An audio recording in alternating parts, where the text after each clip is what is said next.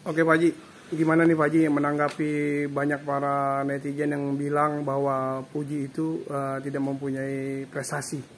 Tanggapan Pak Haji sebagai seorang orang tua, Lu Puji seperti apa? Lu pertanyaan lu kadang-kadang bikin saya kesel aja. Sebenarnya Ah. hal itu tidak perlu dipertanyakan gitu ya. Ada orang-orang yang berkomentar berkomentar seperti itu. Sebenarnya orang-orang yang berkomentar seperti itu tuh dia tidak tidak eh, eh, apa ya tidak eh, meyakini akan kuasa Tuhan namanya itu. Tidak meyakini akan kuasa Tuhan, tidak meyakini bahwa hidup ini ada yang mengatur. Ya, bahwa suatu kebaikan itu pasti akan dibalas oleh Tuhan dengan kebaikan. Nah, mereka berbicara seperti itu. Itu bisa merusak pada iman. Kenapa? Karena sesuatu itu sudah ditentukan oleh Tuhan. Sudah diatur oleh Yang Maha Kuasa bahwa ini akan seperti ini, bahwa ini akan seperti ini. Jadi eh, kita selaku eh, eh, masyarakat ya selaku haruslah kita menilai sesuatu itu mengembalikan ya eh, kepada yang maha kuasa Eh, terkecuali kalau hal-hal yang dia tidak mencoba berbuat baik kecuali dia tidak ingin mencoba sesuatu yang lebih eh, lebih eh, apa ya lebih eh, untuk kemajuan dia lah ya nah seperti anak saya ini bagaimana eh, dia berbicara seperti itu? Kan itu kan isinya sepertinya mematahkan. Mematahkan eh, mencari kelemahan orang yang sudah berhasil.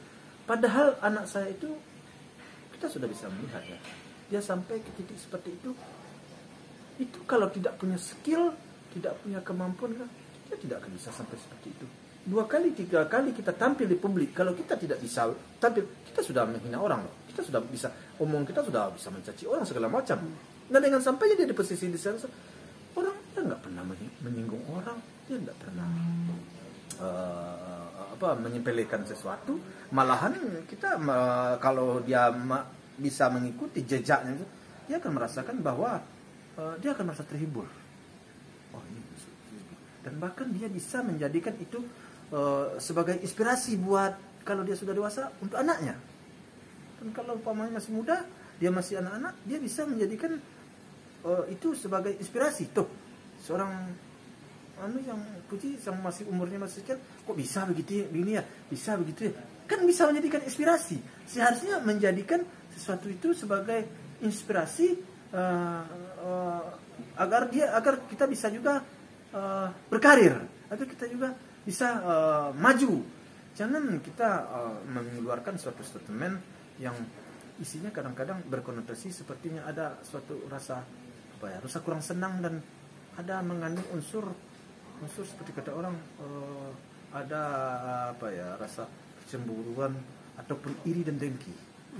Jadi kata-kata seperti itu yang mengatakan bahwa oh dia masuk dari jalur ini dari jalur ini itu kan tidak pantas itu ya konotasinya sepertinya melemahkan em, suatu ketidaksenangan terhadap keberhasilan orang lain.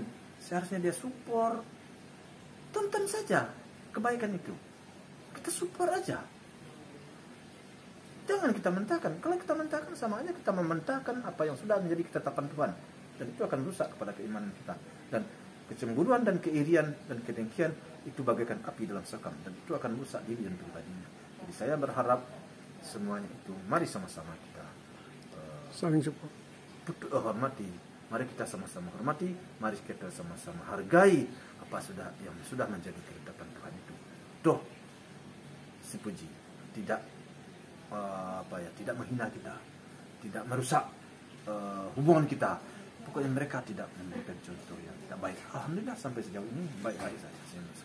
Jadi saya berharap kepada orang-orang itu mudah-mudahan sama-sama dapat sama-sama mengoreksi diri sama-sama dapat memandang sesuatu itu secara positif uh, dan selalu berpositif thinking terhadap hal-hal yang baik ataupun juga kalau ada yang kurang baik ya saya selaku keluarga selaku orang tuanya ya mohon kiranya dimaafkan. Ya itu aja yang dapat saya tanggapi lebih kurang saya mohon maaf. Assalamualaikum warahmatullahi wabarakatuh. Waalaikumsalam warahmatullahi wabarakatuh.